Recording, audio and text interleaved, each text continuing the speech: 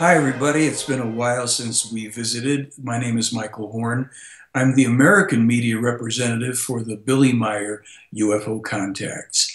And today I want to I want to discuss uh, a slightly different perspective on all of this UFO and ET and extra, you know, the extraterrestrial element and all. You know, when we think about our world, if we think about our world, it, it's this object that is spinning around uh, on its own axis, and it's you know revolving around the sun. It's it's one of a number of planets in this solar system in this great vastness of space. As a matter of fact, space is so vast on the, on the overall scale of things. We live on what's the equivalent of a speck of cosmic lint. Really, if you think about it. And if you can look out at the sky, especially the night sky, to get a sense of that perspective, uh, you know, look at Hubble telescope photographs if you really want a perspective. But from wherever we can, if we can look out at night and find a starry sky at night somewhere, some places don't permit that.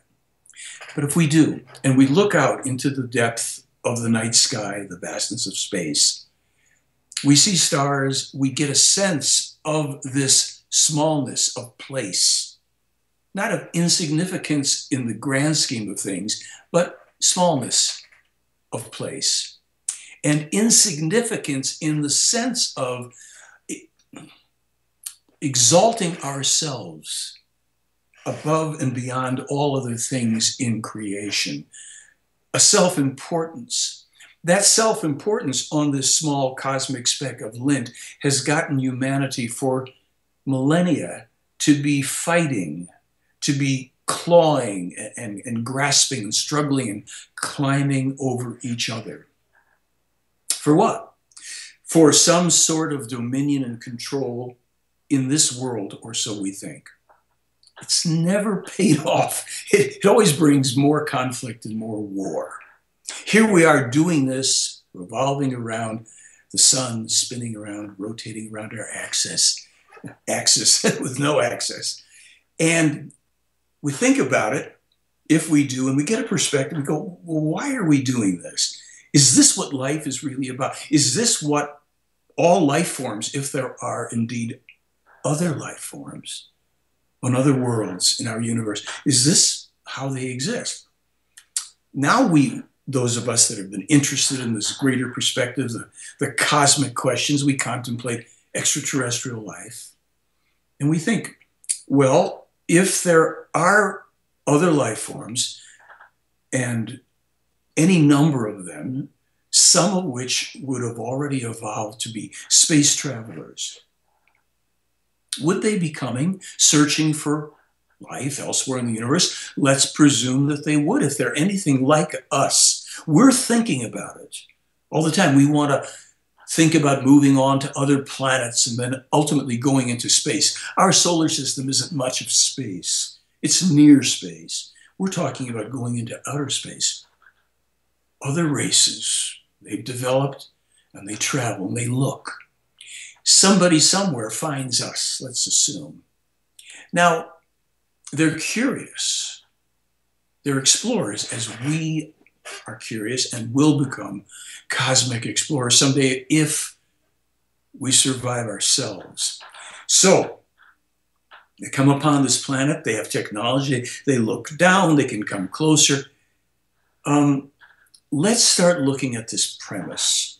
The premise that we've been sold for the most part about all this is aliens, evil aliens, aliens coming to abduct us, to take our precious corrupted genetics, seemingly interested in our emotions, which, as history demonstrates, are simply filled, overflowing, beyond filled, with aggression and greed and fear and anger and lust and all these great things that we think make us human beings instead of higher values, which we have, but they aren't yet the hallmark, the imprint that resonates from and around this world of ours. But we're being sold this idea of evil aliens coming here, threatening us, alien attacks, the world being invaded, movies churned out, television on aliens that are a threat to this precious life that we've created here. Why do you think we have that image of it all? It's because just like with religion, we've created aliens in our image, except we, we've made we've made this personification, this expression, this representation of them, these evil, scary creatures. Well, heck, in religion, for the most part, Judeo Christianity, we've got a wrathful, vengeful, envious, jealous God that we've manifested to scare the tar out of us and to threaten us with eternal damnation, being dipped in hot lead for eternity if we don't believe and behave in certain ways. Now, that might offend some people that have those religious beliefs, but we're leaving behind, hopefully, the age of beliefs for the age of truth and knowledge. How does this whole evil alien thing fit into truth and knowledge? On this planet, for the past 10,000 years, we've had a cumulative period of only 250 years of peace. Aliens haven't been attacking us. We haven't been bombarded from space by all sorts of aggressors and, and what have you. Although our history has some pretty rich details about some unpleasant extraterrestrial human beings that were here if you study the Meier material. So as we move into this whole thing where we've been sold such a bill of goods, well, why have we been sold the evil alien premise if it isn't true? It's to control you, like everything else in life, for a buck, for control. You know, for those of you that can remember a time when this wasn't the dominant representation of human life on Earth? Do any of you remember before people were standing around, sitting around together alone in families at the same tables doing this? Do you know, for those of you that are relatively new to planet Earth, 20, 25 years, whatever, somewhere in that realm, even a little more. Do you know that people didn't used to spend their entire lives and their consciousness and all their thoughts and concerns doing this? Yeah, that's right. We used to have relationships with people, we used to discuss things. Have we been fooled? Have we been, again, sold a bill of goods? Sold technology as an answer? Sold aliens as a threat?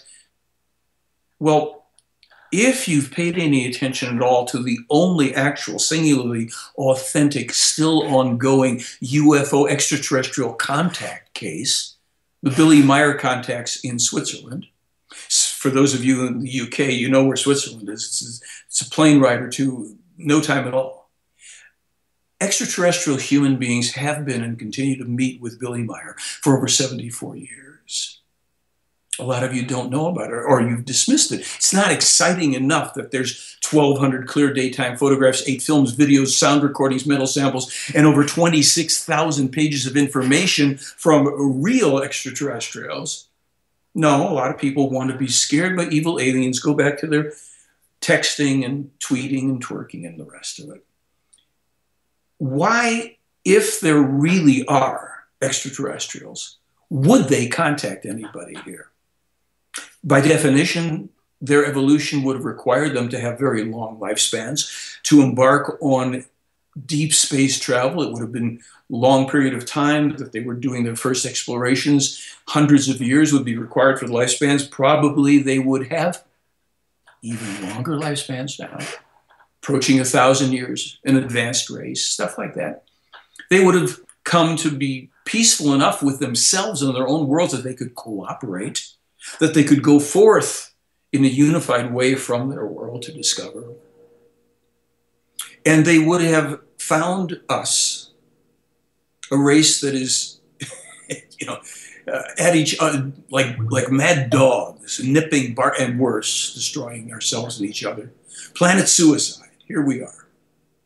Now, do you think that their priority would be to float you through the wall so they could take you? Of course not what would the real reason be for context, especially for real contacts. I don't mean all this gobbledygook in the UFO community, which doesn't have a shred of real truth to it, except that they can say, well, there have been things in the sky and some people have photographed or filmed them.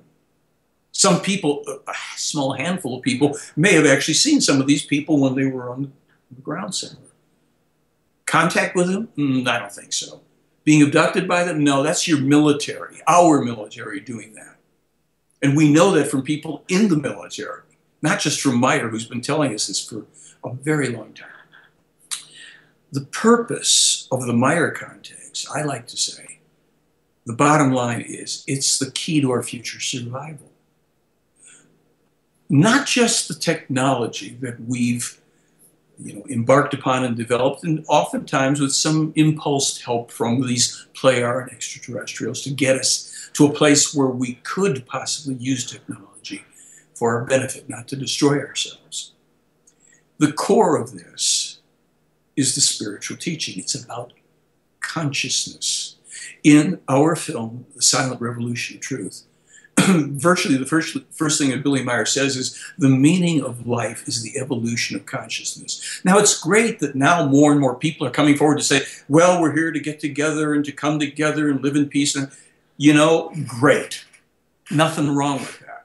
We've at least started to shove aside a lot of this imaginary channeling from other entities, which isn't coming from anybody out there. It's always the person himself.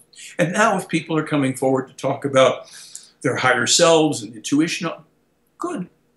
How about we start to take the next step? The reason for the Meier context, the reason for extraterrestrial context with us on planet Earth, this key to our future survival is in consciousness. It's in the spiritual teaching, non religious, belief free, how to think, the how to of consciousness. We can't get there just by saying, well, if it feels good or we think this way. We've got to now understand we've been given the gift of the mechanism. If you want to know how a computer works and you're the kind of person or a car or anything else, you pick up a manual, you, you study the teaching for it. And you test it, you apply it, you see if when you do this, that happens. When you do this with the car, that works. The spiritual teaching is beyond ancient. It is the original spiritual teaching of this creation. No deities, gods, angels, saints, saviors, none of these imaginary constructs are responsible for it. Indeed, and in fact, we are solely responsible for ourselves. And that is the good news we are not going to be punished by some guy in the sky, Sky Daddy, who doesn't like it if we don't believe in him. We can only either bless or punish ourselves through our thoughts, the feelings that those thoughts lead to, and our actions that arrive and arise from our thoughts, our feelings, our micro thoughts, that's the next step is the action. We do this 24 7. We're always thinking, always feeling. We're always creating another feeling after the thought. And then we act or we don't act based on that process. This is explained in the most beautiful detail, the clearest, most comprehensible teaching in the Meier case. Yes, Meier has books in Ger- over 50 books in German. We've got four or five books translated into English as well. And at my website, theyfly.com, you can read a lot of this stuff for free. For free. You can start to understand how it actually works, where we get beyond the platitudes and the good intentions of people who are thankfully saying, well, we've got to, you know, it's consciousness. We've got to do it ourselves Yes. Choir, I, let, let's applaud. Now let's really learn how that works and how you and I take that, study it, and how it enriches us, opens our intuitions even more deeply, shows us the difference between what the value of the so called gut feeling is and how the mind works in concert with this. When heart and mind with truth align, we'll see the living proof of the silent revolution of truth. That's the words in the song we have. And it is the how. It is the how to do it. And it draws us in more and more together with ourselves and with like minded people, not in a cultic way where you could know only if you study the Meier material. No, it means we then begin to resonate with free thinking, well intentioned, consciousness uh, related uh, students, if you will. And how we then start to also shake out that which doesn't work in philosophy, in religion, in various teachings, how to discern and make ourselves more aware and align with truth. There is a truth, a singular truth. There are some things where we have our own truth, but there's also truth above that, and it's not to be believed. We find that out for ourselves. We do it through responsible, self responsible study. And I invite you to look into the Meier case and the spiritual teaching and the wealth of information and joy and freedom that it brings to take that upon you and to, you know, kind of polish it for yourself. Find out what works. If it works, what doesn't work. Now you're truly self responsible. And we hear other people speak these good things. Wonderful. Let us resonate to that and leave behind all this nonsense with aliens and saviors and saints and, and the rest of it this is a new time, a new age. It's going to come in with a lot of conflict. It's going to come in with light and dark vying for dominance. The light will prevail, but it's going to be a rough ride in many ways until we get there. So let's do it as much together in consciousness, not in belief, but in consciousness and in truth as we can. I'm Michael Horn, and I invite you to visit theyfly.com to participate on the Theyfly blog and to express your voice about all of this to me and to those of us around the world studying and pursuing the spiritual teaching. Thank you.